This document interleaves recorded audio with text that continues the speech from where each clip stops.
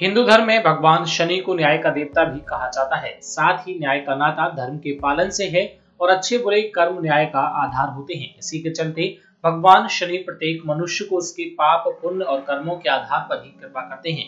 यदि शनिदेव नाराज़ हो जाएँ तो उसको बहुत ज़्यादा दंड भी देते हैं। इसी के चलते हमें शनि की पूजा में किसी भी प्रकार की कोई कोता ही नहीं बरतनी चाहिए। आपको बता दें, अब शनि महाराज इन दो राशियों की किस्मत का भंडार खोलने वाले हैं। आज रात से इनकी किस्मत अब हीरे मोती की तरह चमकने वाली है। ज्योतिष की माने तो अब ऐसा योग बन रहा है जिसमें शनिदेव की कृपा इन दो राशियों पर होने वाली है, जिससे इनको भाग्य का पूरा साथ मिलेगा।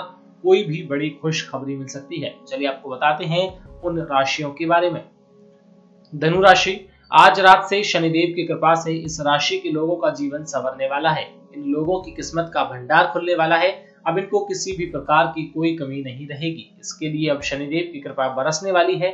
धन का आगमन इनके घर में होगा। आपके घर में धन का भंडार होगा। आज आपका रवैया घर पर लोगों के दिलों को चोट पहुँचा सकता है। इसलिए थोड़ा सा सावधान रहें। वृक्ष राशि।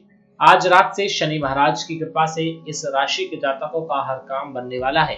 अब इनको किसी भी प्रकार की कोई कमी नहीं रहेगी। हर प्रकार की सुख सुविधा आसानी से प्राप्त हो जाएगी। अब इनको कोई भी चिंता करने की ज़रूरत नहीं है। आपको अत्यधिक मेहनत कर सरकारी नौकरी मिल सकती है। यदि आप विदेश में कोई कारोबार करते हैं तो आपको बड़ा लाभ होगा। समाज आपका सम्मान करेगा। कोई कमी आपकी नहीं रहेगी।